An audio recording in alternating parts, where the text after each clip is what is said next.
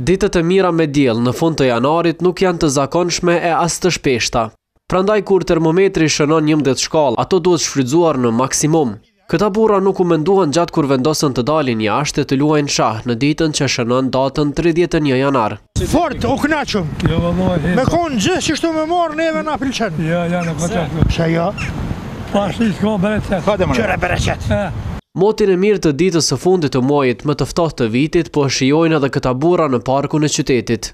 Ata janë të habitur me motin që po mban këto ditë krahasuar me çfarë mbajnë mend më herët. Merrem me mend, përpara ka pas borë deri në gjashtëdhjetë santim, Ngrit për to shkoj shumë sikur për plloçat betonit. Kurdo që mban kësi moti, më të moshuarit pëlqejnë ta tregojnë një farë legjende që e kanë dëgjuar nga të parët, e që ka të bëjë pikërisht me këto ditë të vitit, sipas një ndarje të mëhershme të stinës së dimrit në Arbainin e ftohtë dhe Hamsinin pak më të butë. Ti di ti ka jonë plakës, ka jonë Arbain e vëllami ti di të ho, ja ka unë tire, ja ka ngri vikshin, mrozin, u dek, me dhen me krejt. Të vegjlit e tashëm ndoshta ende nuk e kanë dëgjuar këtë legjendë, por pavarësisht asaj, ata të premten u panë duke argëtuar jashtë me rroba të pazakonshme veshur. Prindërit thonë se do të duhej të ishte mot tjetër këtë kohë. Realisht ish dashtë me kon ftohtë, vjet kemi lu në borë në këtë kohë. Meqë ishte ditë e këndshme u mbushën edhe kafeteritë nëpër sheshe. Jo, fare nuk osht ftohtë, nuk e di, mu po më duket shumë ngrohtë.